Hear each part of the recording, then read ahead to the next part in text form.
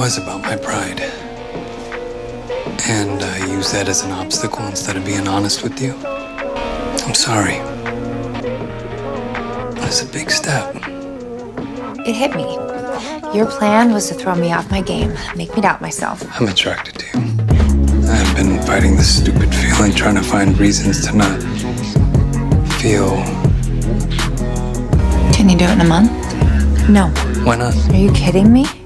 Found a house that I love. I can't have a roommate who has feelings for me. I don't know. I just don't like it. Since when can't you take a joke? Since my roommate hit on me, you have to move out as soon as possible.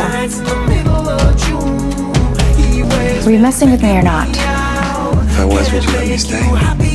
Yes. You've just revealed you're crazy and old. Yes. I wasn't messing with you. Then I guess it's good we're not roommates anymore. Because I couldn't do this. Heard you lost out to a firstie.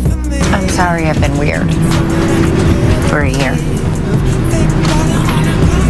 I really do care about you. Because you don't have to do it all alone. You're the reason I wake up in the morning. Whatever there is to figure out, all I want in the world is for us to do it as a family. I wish you and Heather the best. Well, it's a bit late for that. Broke up with Heather. Last night. No. Yeah. Because you think you love me? I do. I think I love you too. I thought our relationship was just a fun distraction. Thank you. I need a friend. But when you pushed me away, I haven't really given up on being a surgeon. I realized it was more than that. I was hurt, resentful, which made every interaction we had It's all dumb because complicated. she has a dirty diaper. Was I uh, ranting about that thing? we were hey, failing. You made sure it wasn't complicated at all. Nerd? Seriously? This is funny? A little.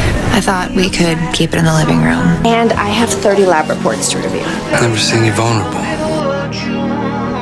Your face gets kind of ugly. Obviously, feeling some pressure to make sure the transplant comes off safe. One bright spot in my day. But Yes, that's the only thing you've been doing that makes sense. You didn't fail. You never fail.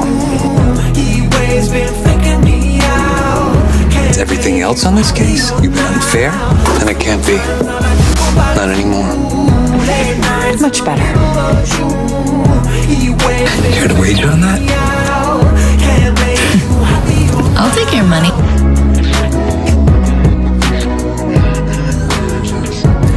Make it something that represents us both. You drew a line. So don't ask me how I am, and then planner does not go with any of the other furniture. Pretend to be some nice guy who cares when you obviously don't.